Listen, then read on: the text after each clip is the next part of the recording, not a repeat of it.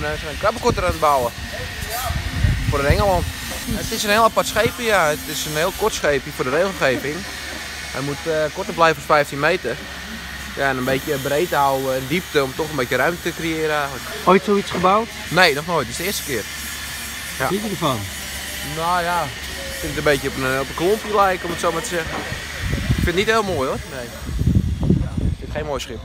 Maar, maar wel, functioneel. Ja. Ik wel de aandacht. Ja, zeker weten, ja. Komen veel mensen kijken? Heel veel mensen, ja. Heel veel mensen stoppen hier eventjes en die uh, willen even weten hoe wat, wat voor schip is het. En uh, ja, zoals hier zeg maar, waar die opening zit, daar schieten ze een soort uh, krabbenvuik overboord.